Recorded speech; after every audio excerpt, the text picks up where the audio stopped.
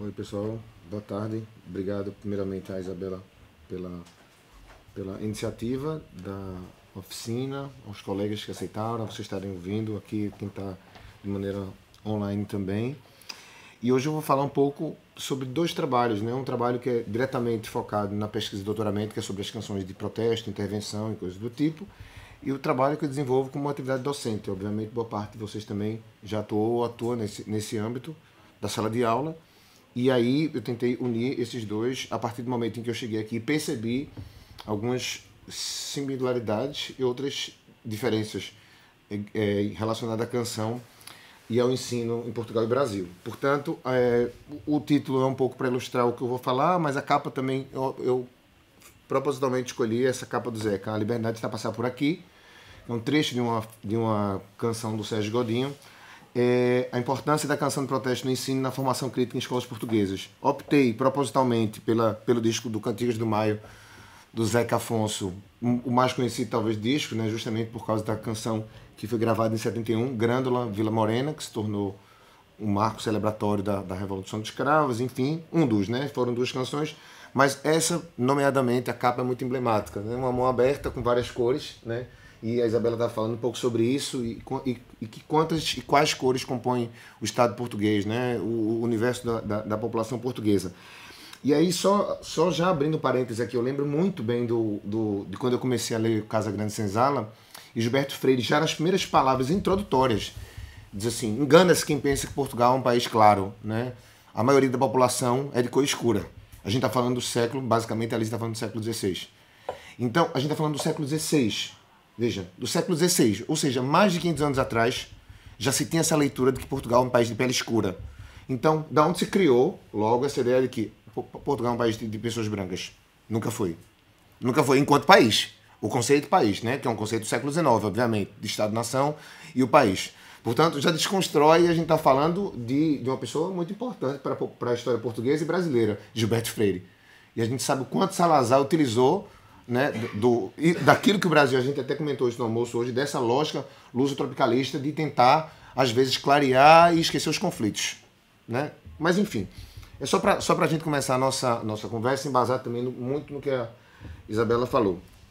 Mas vamos, daqui a pouco a gente retoma esse tema. Primeiro, é, obviamente, a canção e a sua importância de sala e aula. Infelizmente, a canção ainda é muito pouco explorada nos ambientes escolares. E quando é explorada, é, às vezes pode ter um efeito inverso da, da, da proposição, né?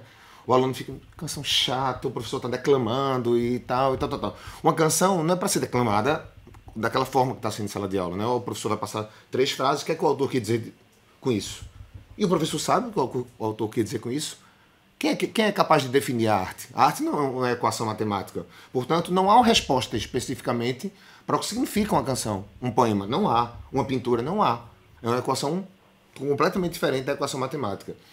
E isso tem outro aspecto também fundamental aí, que é o fator musical. Quer dizer, a, a, a canção em si, ela traz várias coisas. A melodia, os arranjos, a letra, enfim. Tudo isso é um formato que não é texto, mas também não é só som. Né? Também é um pouco imagem, um formato híbrido, que pouquíssimas pessoas estão preparadas para falar daquilo, porque muitas vezes ignoram, tem um tempo para correr, preferem focar na letra, preferem focar na melodia. Portanto, se usa muito pouco e se discute muito pouco. E eu, particularmente, enquanto estudioso da canção em sala de aula há um certo tempo, penso que a canção poderia ser utilizada como um dos grandes mecanismos para vários temas. Vários temas, né? Afinal, ao, ao passo que parece uma coisa, uma brincadeira, de certa forma lúdica, né? Também é uma coisa muito eficaz. A canção é uma coisa que a gente canta uma vez, canta depois e canta depois, aquilo acaba introjetando na gente. Muito mais do que um livro completo, por exemplo, uma música, muito mais rapidamente. O tempo de uma canção é muito mais curto. E, e isso poderia ser, ou pode ser, claro, um vetor para se discutir várias questões, nomeadamente questões ligadas a, questões dolorosas. Né? E aí a gente está falando, não só, como eu falei, mais uma vez, não só da letra, a gente vai chegar nos aspectos rítmicos e musicais também. Afinal, a canção não é só letra, mas também não é só música.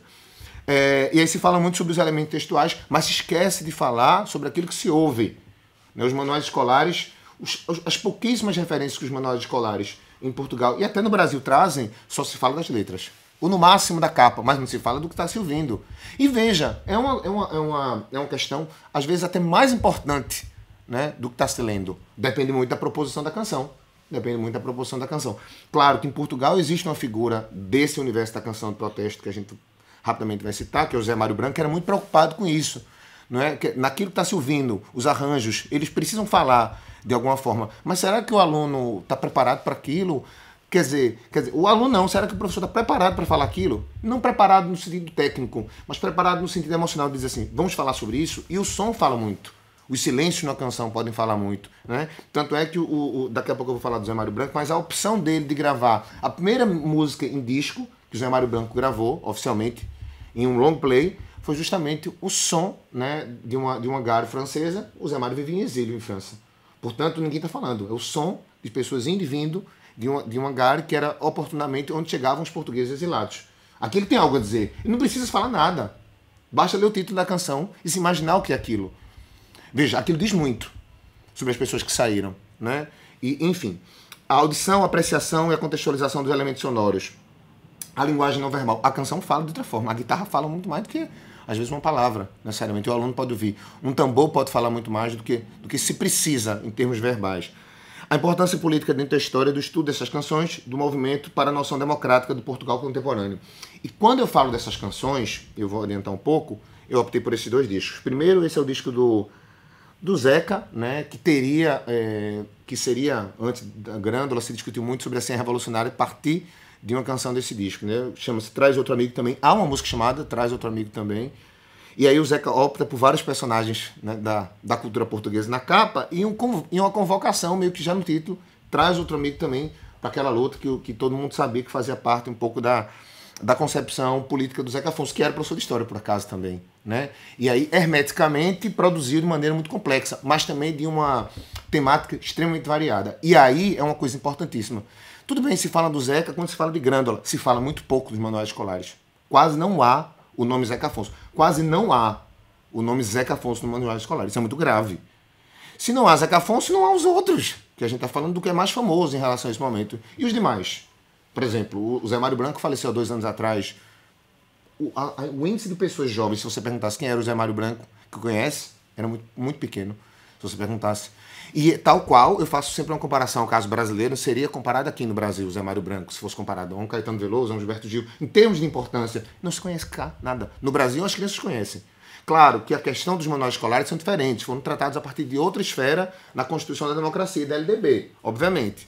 Mas assim, mas é um processo que a gente pode fazer. É prazeroso para as crianças portuguesas ouvirem e conhecerem isso. Existem alguns projetos que foram feitos por jornais, Abril, Abrilzinho, né? De apresentar o Abril. Mas não se precisa sempre apresentar as crianças no nono ano, no décimo segundo, de maneira infantilizada. Não precisa. Elas são maduras o suficiente de entenderem que aquilo é coisa que elas já podem discutir.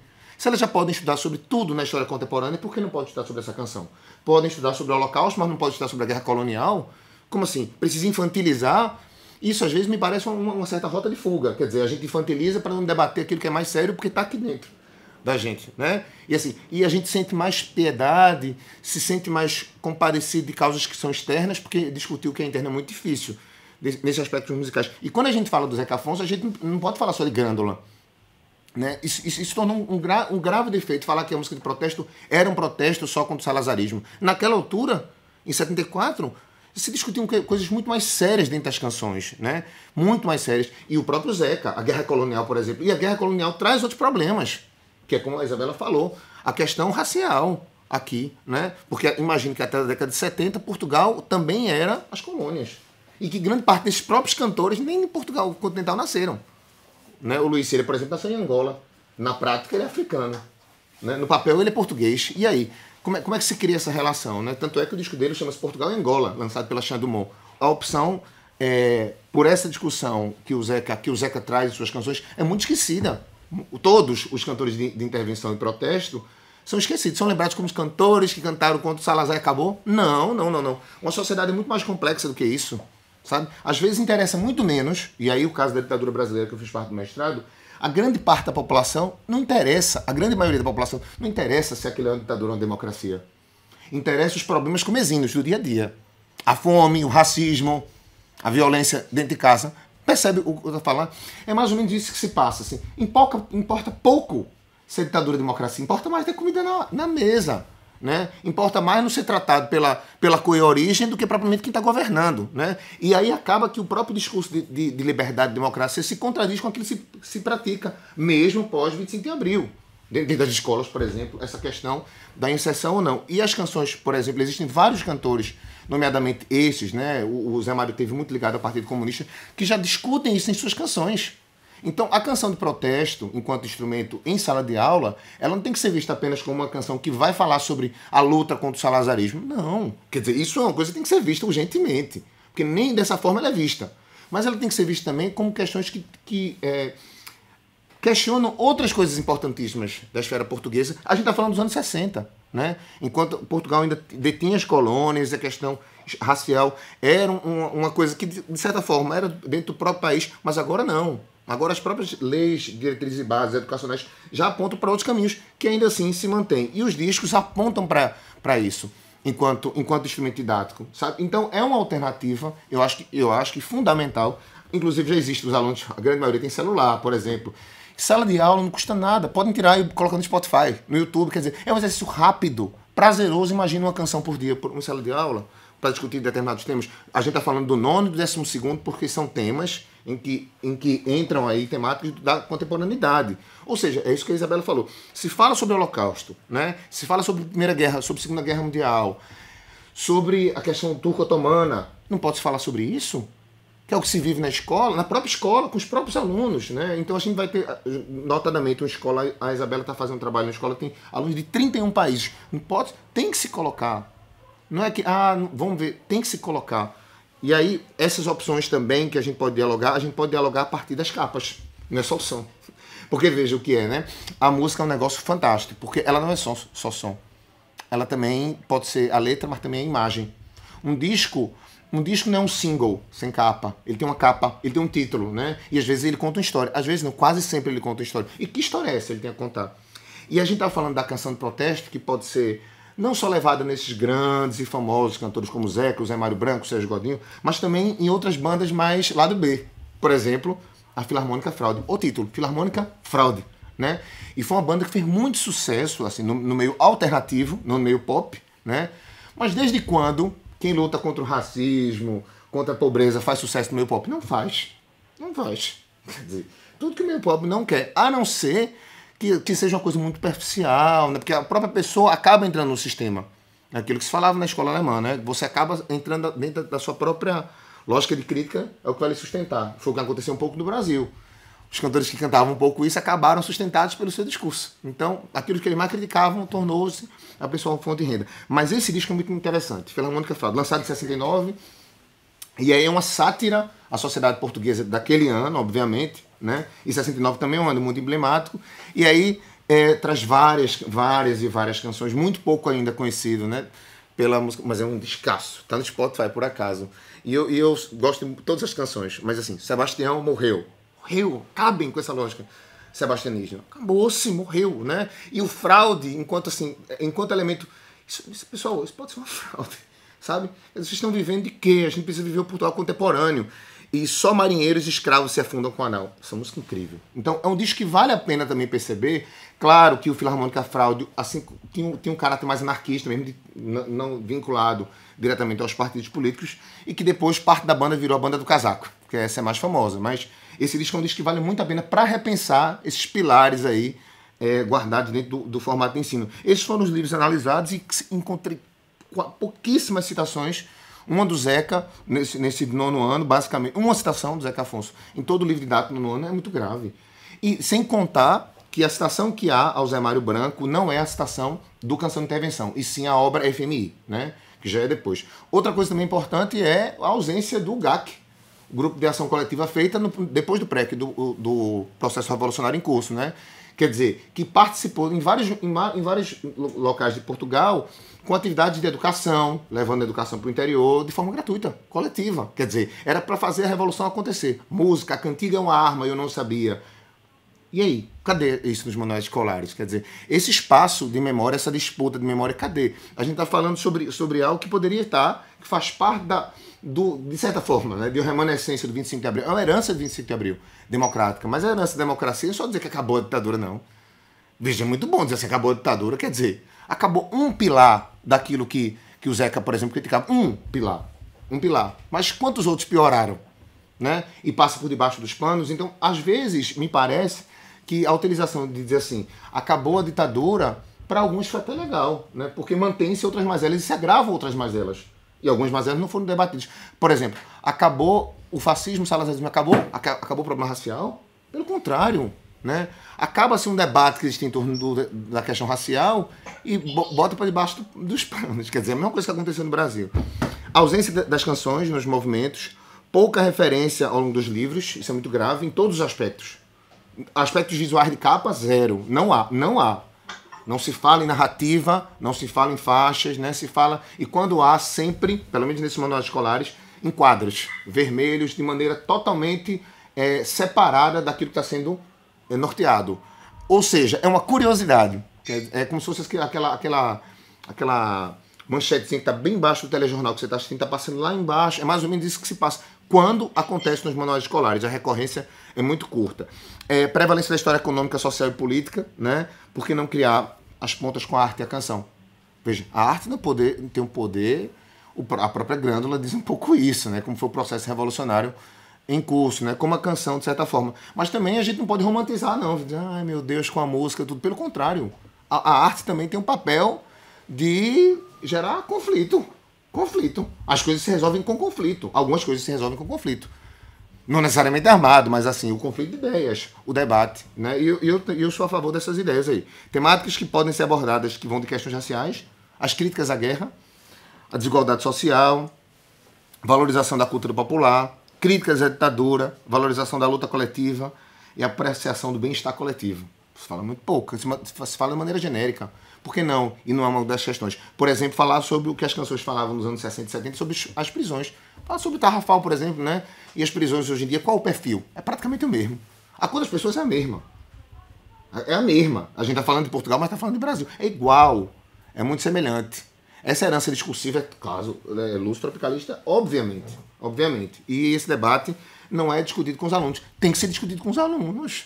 Tem que ser discutido com os alunos, porque vai se tornar um adulto já já. Então vai se discutir quando? Quando a pessoa tiver 50 anos? É? Eu não vou discutir com meu avô de 80. Porque agora o meu avô de 80 anos fica em casa o dia todo. A gente tem que discutir com quem vai às ruas para poder mudar isso aí. Né? Então as, os alunos são, são, são motores para isso. Eu coloquei aqui né, essa foto que está no arquivo da Torre do Tombo do Zeca, o Zé Mário e o Jorge Letria, quando chegaram aqui, quando chegou o Zé Mário depois dos 25 de abril. E aí, há uma coisa interessante também, né, que é você estudar sobre música com os alunos, não é necessariamente só ouvir música. Não, convidar os alunos aí no arquivo, né, os arquivos sonoros e ver fotos e tal, porque a música envolve esses outros aspectos que podem causar curiosidade.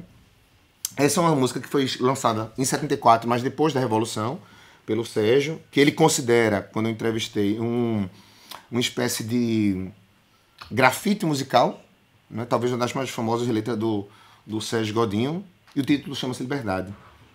E aí o Liberdade que ele fala assim, ele não, não cita diretamente a ditadura, mas ele diz assim, abaixo o pão, aí depois ele vai falar a paz, a paz, o pão, habitação, saúde, educação. Só há liberdade a sério quando houver liberdade de mudar e decidir.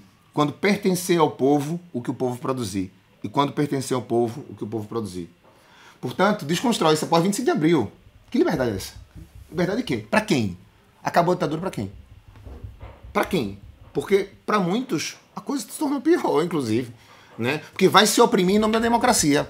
Porque quando se oprime em nome da ditadura é uma coisa, e quando se oprime em torno da democracia? Da, da democracia.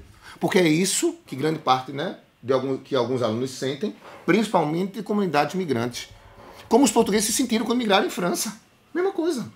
Mesma coisa. No Canadá, por exemplo, nos anos 70, nos Estados Unidos, e até no Brasil em algum momento, nos anos 40, 50. Né? E a comunidade portuguesa enfrentou o que enfrentou lá. Mas enfim, aqui a cantiga é uma arma, né? Isso vale a pena demais, um excelente instrumento didático. Ou a capa, né? Do GAC, os operários aí, isso já foi pós-revolução. Primeiro foi o CAC, né? depois virou o GAC, que é o Grupo de Ação Coletiva. E aqui, claro, obviamente, a gente não pode imaginar que a música de protesto, de intervenção, é uma coisa do passado. Né? Como diria o Camões e o próprio Zé Mário Branco, mudam-se os tempos, mudam-se as vontades. Então, se criam novas artes, e enquanto houver desigualdade, sempre vai haver, né? e todas essas questões, vão existir várias pessoas lutando contra essas, essas coisas e a favor de outras melhores. Eu, eu optei por citar Capicua, né? Que é um rap aqui do norte que eu acho incrível. Corajosa, inclusive, né? Porque tem que ter coragem também. Pra isso tem que ter coragem. Eu tô falando aqui, mas tem que ter coragem. Não é só dizer assim, ah, é muito bonitinho. Bonitinho, bonitinho pra quem tá falando, mas assim. E, e a Deolinda, os Deolinda, né? Que tem umas coisas muito legais também. É, nomeadamente aquela uma canção que eles fizeram, nem foi gravada em disco só ao vivo, que parva que sou. Sou da, da geração sem remuneração, isso é cara da, da contemporaneidade. Pois pronto, é um pouco isso a minha fala. Peço desculpa aí pelos segundos adicionais. Mas pronto, obrigado, obrigado, obrigado.